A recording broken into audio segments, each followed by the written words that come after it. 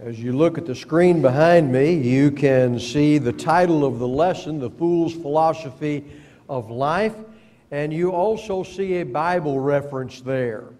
And there is something about that word fool that I ran across in Matthew 5, verse 22, that always bothered me. I remember when I ran across that and I thought, well, I'm so uncomfortable using that word fool now.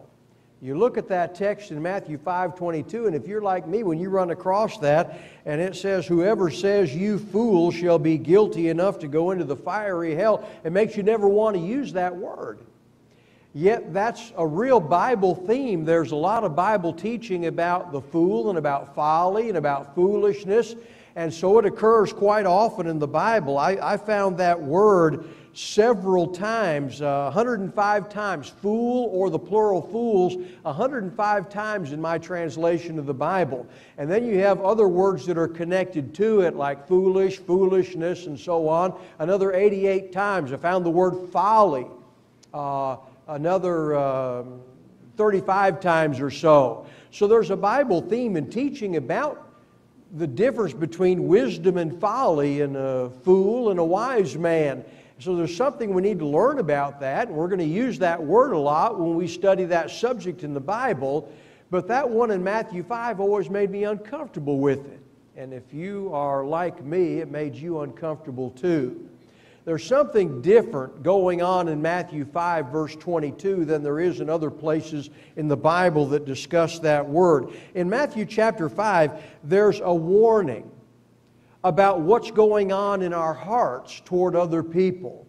And if you look at the full text of Matthew chapter 5, you realize that's a section talking about not committing murder and the things that go on internally inside of us when we're building up that hatred and that bitterness toward another person and using that word fool toward them in that line of reasoning, that's the warning.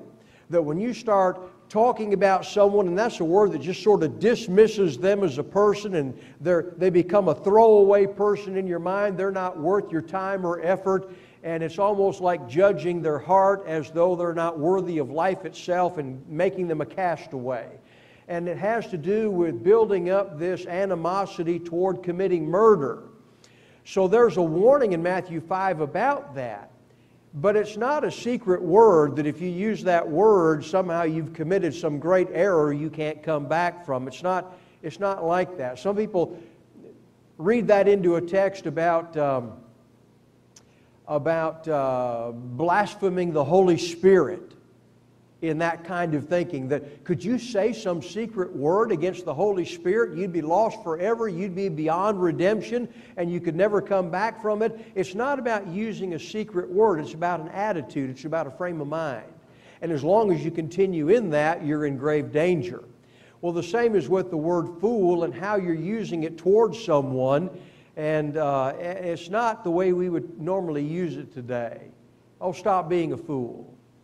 We might say that and not mean anything as mean or ugly as Matthew 5:22 in the context there. But when you get to the Bible teaching about that, there's identifying the character of one who's playing the role of the fool, the character of that person, the lifestyle of that person, the way they think and the way they behave, and it's giving us a choice between a life of wisdom and a life of folly. So it's laying that out for us and describing it so that we can tell the difference and then make the right kind of choice with it. So, folly is the opposite of wisdom, and the fool is the opposite of the wise person. And the distinction between the two is one's going to heed the Word of God, one's going to listen carefully to that and observe it in their life, and the other one is not. And you run across that description in the end of the Sermon on the Mount in Matthew 7 24 through about verse 27, where you have the wise man who builds his house on the rock and the foolish man who builds on the sand. And the discussion in Matthew 7 is about all the teaching that Jesus has been doing, and he's telling everybody this is the end of the discourse. And you're either going to be a wise man or a foolish man you will heed my words and heed my teaching and start observing them in your life, obeying the Word of God, or you will not. And that's the distinction between the wise and the foolish. Now, I'm going to give you an illustration. And uh, this is one you'll be familiar with. If you watch any television, even listen to the news, you've heard about a police sketch where someone has observed some crime. They were an eyewitness to some deed that was done, and the police come up to this person and they say, Well, you saw this individual. Can you tell me what he looked like? Could you sit down with our police sketch artist and could they make a composite sketch based on your description of this person? Tell us what he looked like. And they'll make that sketch and they might put it out in a newspaper. They might put it on the TV news. You might see it on social media. And we're looking for this person. Keep your eyes open. If you see them, don't approach them. Call 911. And so we're familiar with the police sketch. And what the Bible is doing for us, especially in the book of Proverbs, you find the words for fool, foolishness, folly, you find those a lot in the book of Proverbs. And the book of Ecclesiastes sort of reinforces that teaching. So you have these two books in what we have named as wisdom literature. And they're giving a composite sketch in words of the fool and his folly. It looks like this. This is what this character looks like. This is how this person behaves and how they walk through life.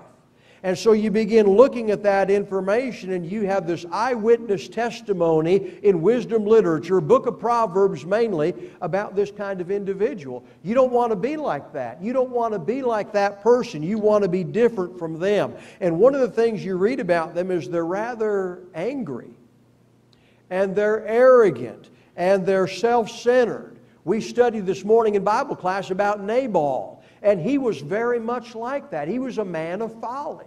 He fit the description. He was an angry man, and he was arrogant, and he was self centered. That was just like Nabal in our Bible class this morning. So in Proverbs 14, verse 17, a quick tempered man acts foolishly. They are people with a temper that flares up rather easily. When you run into someone and they're always having some kind of a tantrum or a temper flare, that's a mark of foolishness, and we ought not to be like that. Proverbs 14 29 He who is slow to anger has great understanding, but he who is quick tempered exalts folly. And something else we find about the description of the fool in the book of Proverbs they enjoy quarrels. They like fights. They're seeking them out. Proverbs 20, verse 3 keeping away from strife is an honor for a man, but any fool will quarrel. And something else we find out about the character of the fool is that uh, they, they trust in their own knowledge. They are very reluctant to take any advice from anybody, they don't want to listen to anybody. They are their own source of wisdom and they trust in that, and that's the way they go through life.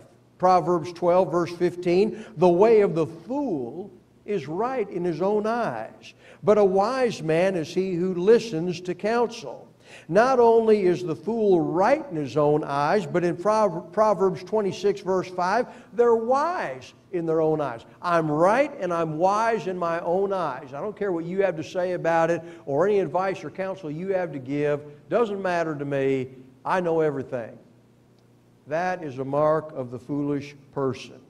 They even reject guidance from their own parents. And maybe that's the beginning of the problem, is that that wasn't corrected early in life.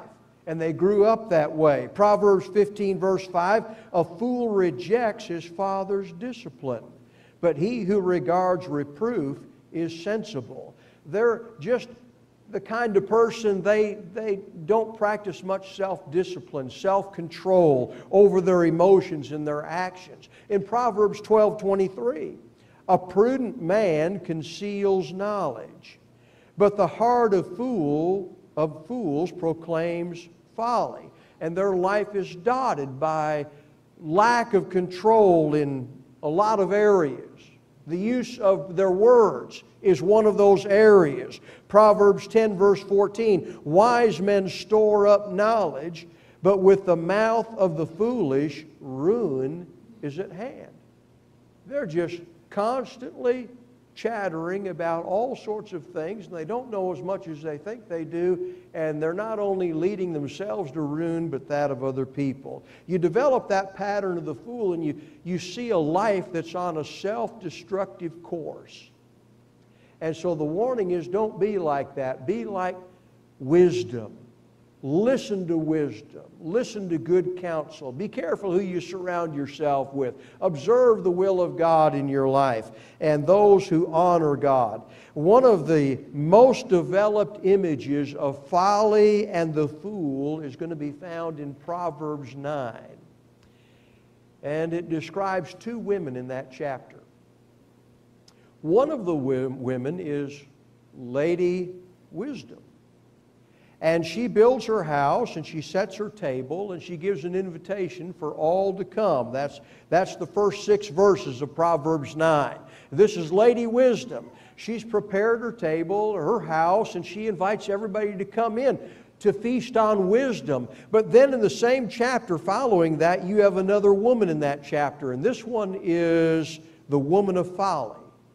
And she's depicted as a seductress she is a loose woman, loose morals, and she's of that nature and that kind. So these two women, one is wisdom and one is folly.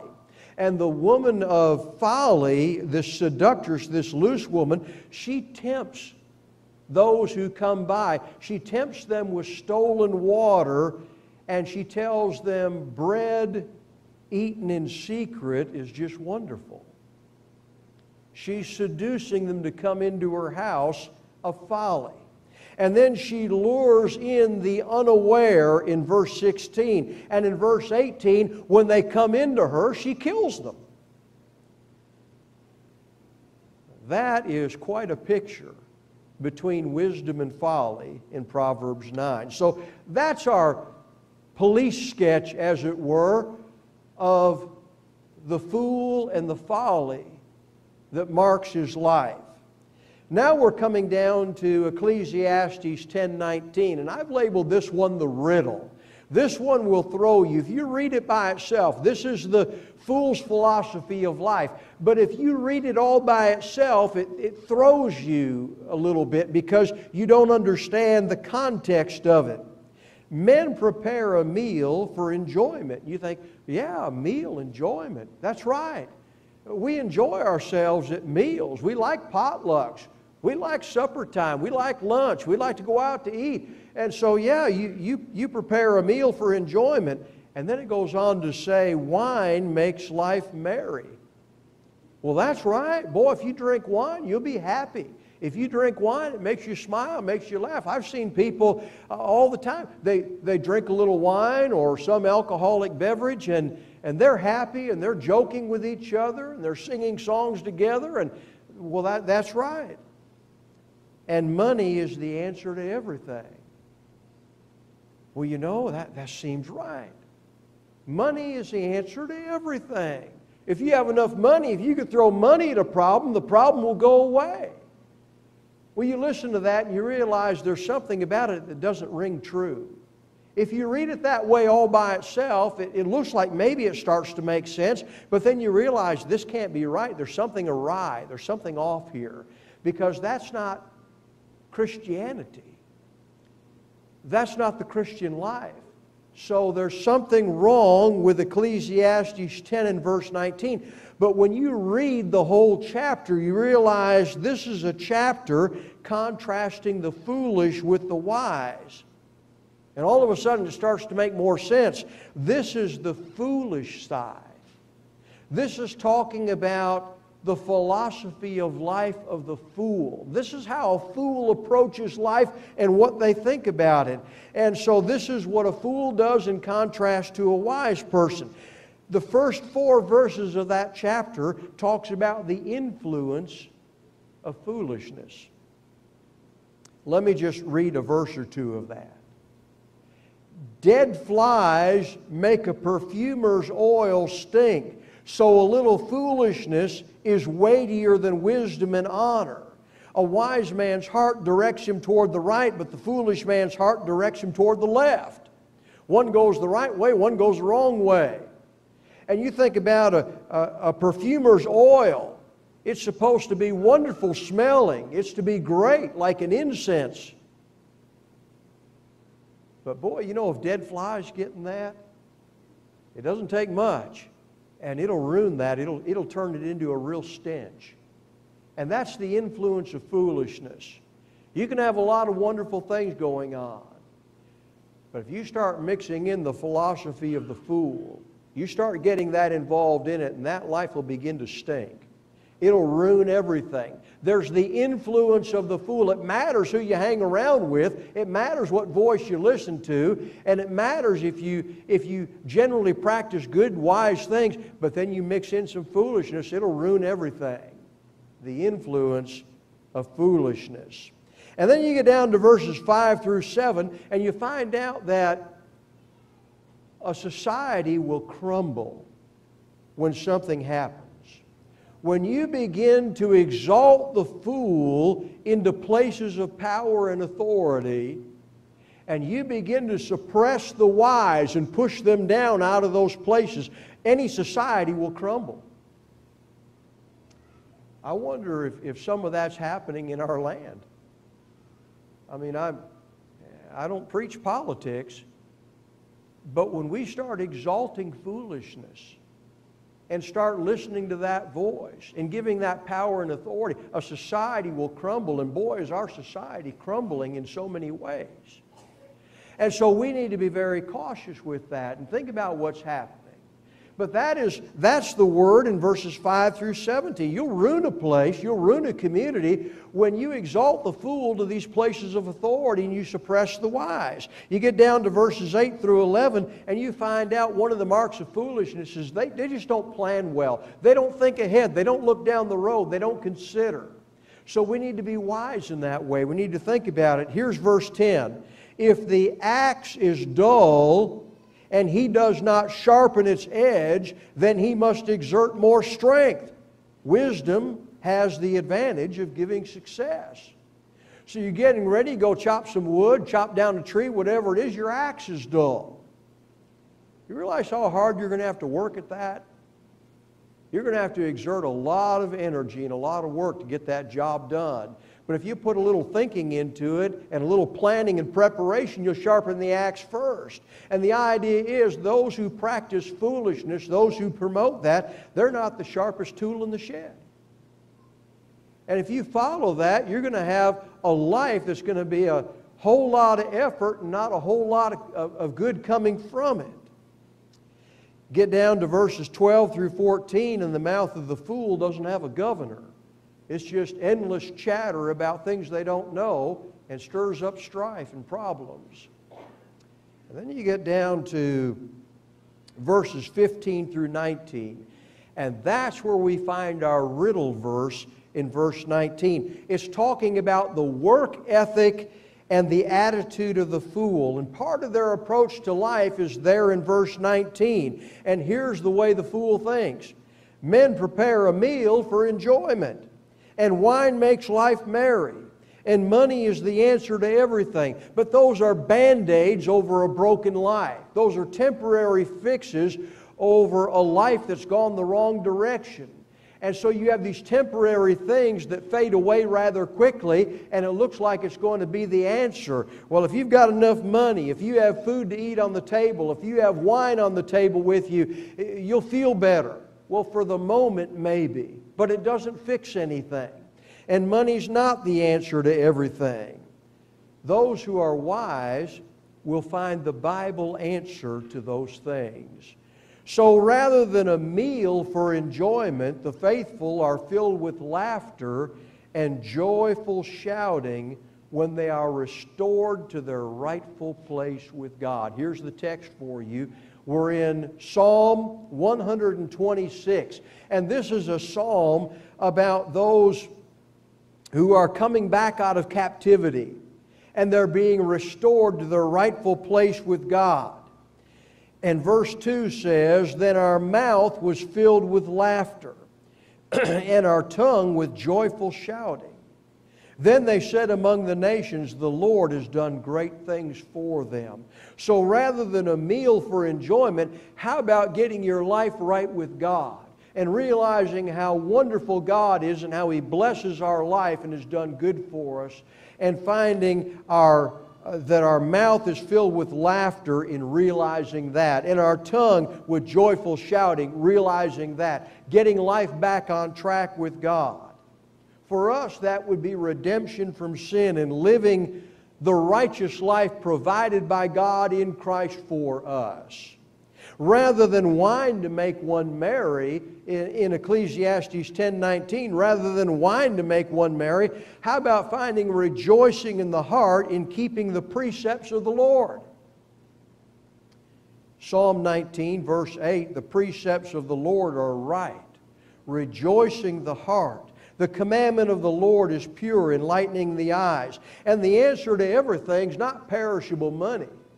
As a matter of fact, you'll read in 1 Timothy 6 and verse 17, not to fix our hope on the uncertainty of riches, but on God who richly supplies us with all things to enjoy. And in 1 Peter chapter 1 verses 18 and 19, we were not redeemed with perishable things like silver and gold. Money's not the answer to everything, and it certainly won't answer the need of the soul.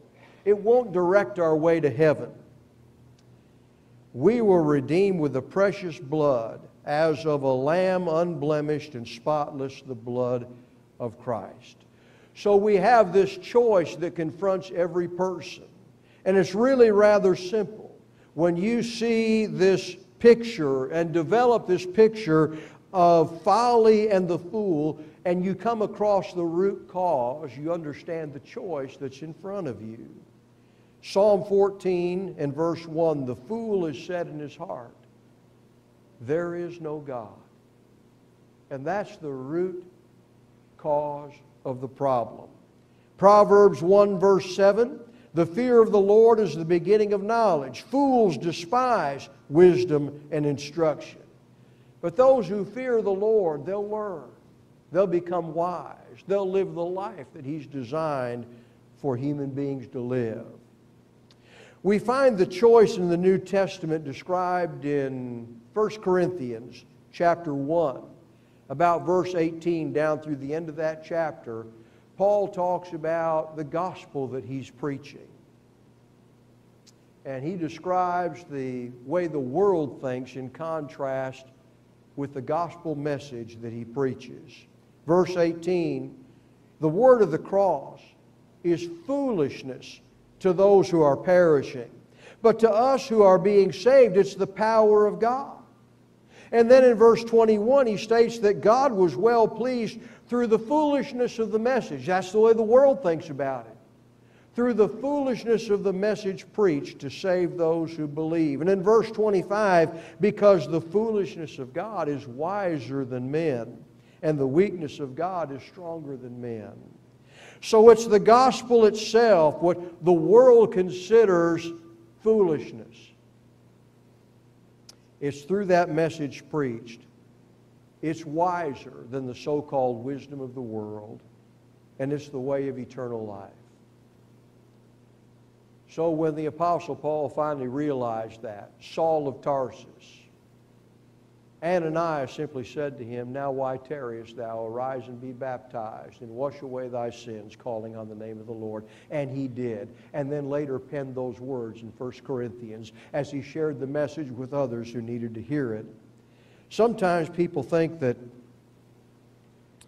oh, all this church and Bible stuff, it's just a waste of life. And what I'm saying is, I'd like you to reconsider if you thought about church and you thought about Bible and Bible study and all the effort and all the time you put into that, that's just a waste of life. It's a waste of time. I'd rather be doing something else. I'd like you to reconsider. There is the way of the fool and the life of folly and the way that it ends. And it's not good.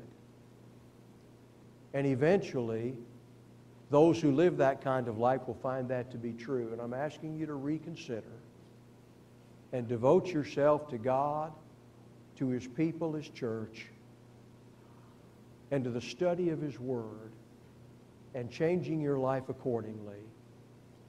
And tonight, the words that Ananias gave to Saul of Tarsus may be words that you need to answer. Why tarriest thou?